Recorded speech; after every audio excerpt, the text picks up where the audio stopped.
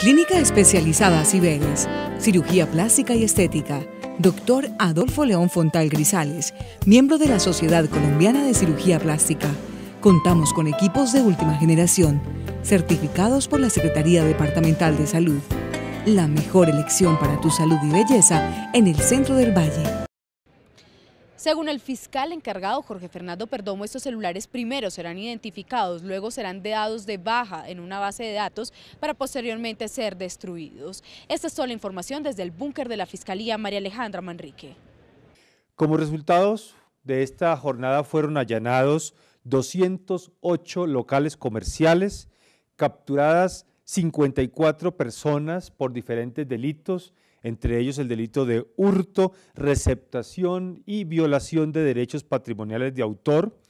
Se incautaron 1.500 celulares, 2.360 accesorios hurtados.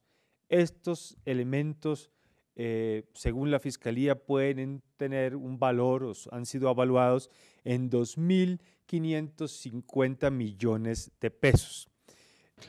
Según el fiscal encargado Jorge Fernando Perdomo, estos celulares primero serán identificados, luego serán dados de baja en una base de datos para posteriormente ser destruidos. Esta es toda la información desde el búnker de la Fiscalía María Alejandra Manrique.